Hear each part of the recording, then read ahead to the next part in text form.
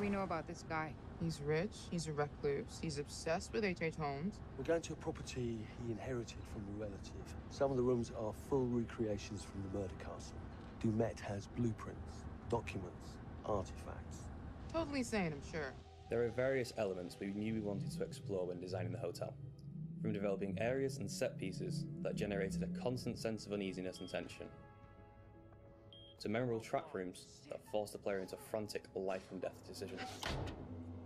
I'm so sorry. We took a lot of inspiration from Holmes' original murder castle, as we wanted to capture the way that Holmes' castle was created to disorientate and confuse his victims.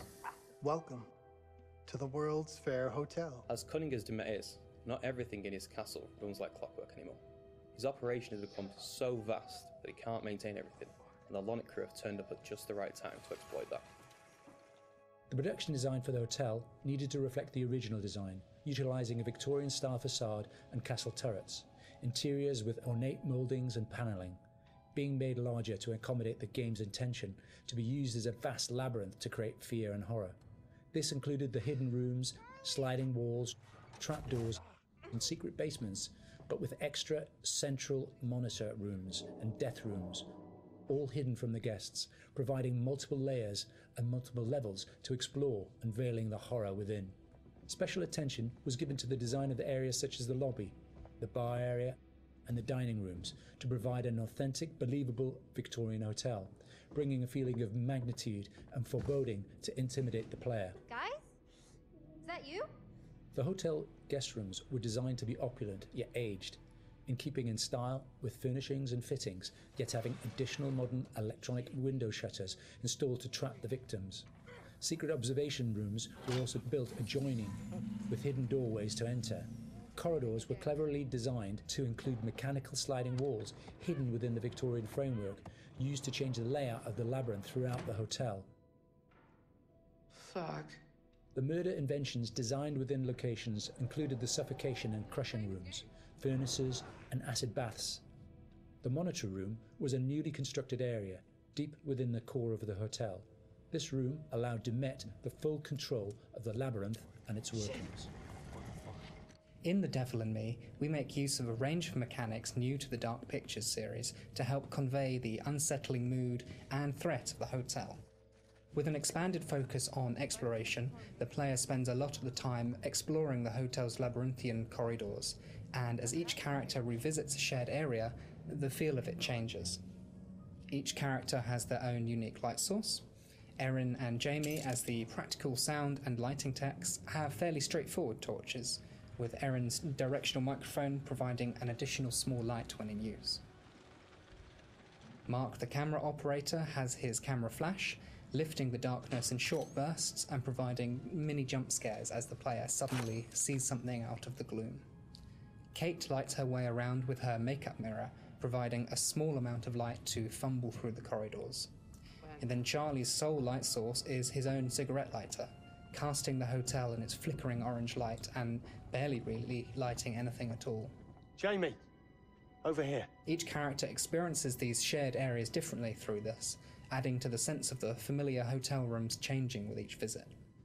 It's amazing. The Ellen Hotel was originally built in the 1890s. It was converted into a spa later on until it was abandoned and finally chosen by Dumet for his murder playground. Some parts had been restored, like the rooms the characters stay in and the lush lobby and bar areas on the first floor. We work closely with concept art and art direction to create distinct color palettes and ornate assets that made those areas more inviting while still leaving something unsettling about their imperfections. But elsewhere, we could show the hotel and spa's original treatment rooms and the indoor pool which had fallen into disrepair and other thematically different places. Our second challenge was getting into Dumet's head.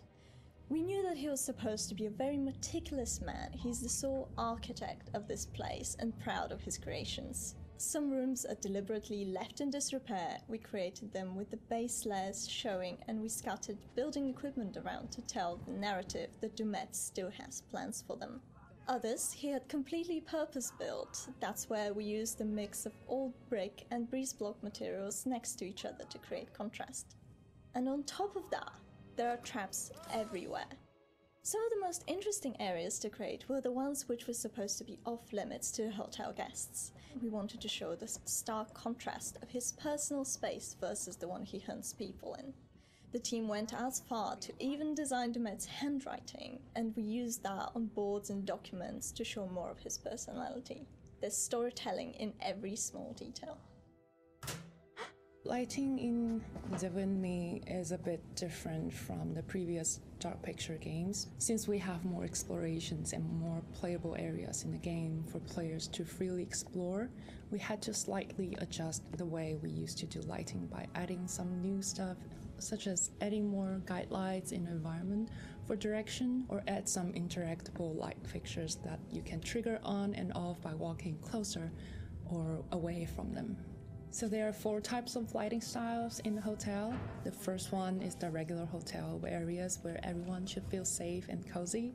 We try to use more bright, warm color lights with different elegant light fixtures.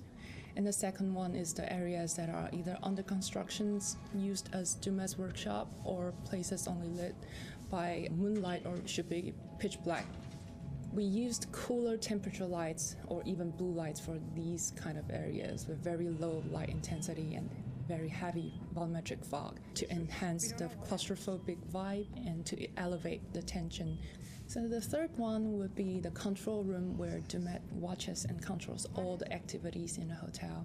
We want this room to be especially bright like an industrial warehouse with a cool, eerie mood to separate it from the other rooms. And the last one is all the rooms that are designed to be slaughter stages. Killing is like creating art to Dumet, and he wants all his artworks to be presented epically with audiences, classical music, and beautiful lighting setup. So, in these areas, unlike the others that have more neutral color in the lights, we tend to artificially light these areas with either theatrical lighting or use high contrast saturated lighting setup so that we know something is going to happen. If we don't do something, both of them will die, Mark. We wanted to provide players with a truly realistic historical Sonic experience whilst inside the murder castle. We researched multiple properties and buildings built within the same period as the original Chicago murder castle. Authentic door foley and sound effects elements were high on our priority list. We recorded multiple door openings, closings, handles, rattles, and squeaks, Throughout pre production, we'd seen all the variations of emotion characters would be displaying when using the doors, ranging from calmness through to blind panic and incensed rage. All these emotions could be channeled into the performance we recorded. Another element of the soundscape we went into considerable detail recording was floorboard and stair creaks. Virtually every step we took provided us with a distinctive and unique sound. We recorded these creaks in three states running, walking, and walking slow. To further add to this, as the characters climb higher inside Dumet's murder castle, the recreaks will become more frequent as you enter unfinished rooms, exposed walkways, and the structural integrity of the hotel becomes more dangerous and unstable. In terms of the music, we chose various 19th century pieces of classical music and opera to accompany the murder scenes. These would have been the pop music tracks around the time of H.H. H. Holmes, providing a cognitive link between past and present. Classical music and opera accompanies a lot of the murder scenes, uh, often playing through a gramophone or a tannoy, which is then fed back through our bespoke impulse responses to allow the music to naturally echo throughout the cellars and corridors of the space. What, what is this? We took a similar approach as well with the abstract sound design, including nods to classic horror films with really discordant, unnerving piano impacts and, and bowed metal interspersed with electromagnetic recordings synths and ultra modern distortion to provide that juxtaposition and, and that link through time uh, between the historical setting and the modern day story. Designing the hotel as a play space presented different challenges than previous Dark Pictures games. We've gone from quite open environments in House of Ashes and Little Hope to a more enclosed one with the hotel. The ability to revisit previous environments at different points in the story, with different layouts and different emotional states, meant that we had to collaborate very closely with each other to make sure we designed each area to cater for every requirement.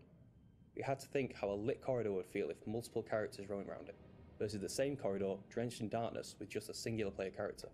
Empty hotels are inherently eerie, and it allowed us to play with the idea of liminal space to try and create a murder castle that felt uncanny. It's something that felt truly unique.